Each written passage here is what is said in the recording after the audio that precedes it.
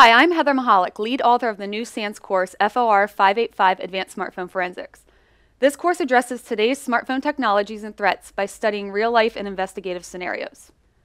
In this class, you will learn how to manually decode data on smartphones by diving deeper into underlying data structures and finding data that the tools do not interpret. We'll show you how to perform advanced data carving techniques on smartphone data in order to validate the results your tool actually provides, as well as carve out deleted data. You'll be taught how to detect hidden malware and spyware and extract information related to security breaches and advanced threats. You'll also get to apply what you learn in the class and test your smartphone knowledge while increasing your skill set with the 14 hands-on labs and one forensic challenge. I hope to see you in this class soon. You will leave this class with a fresh take on smartphone forensics and a skill set that you can immediately apply to your investigations. You'll be shocked by all the data your lab is actually missing.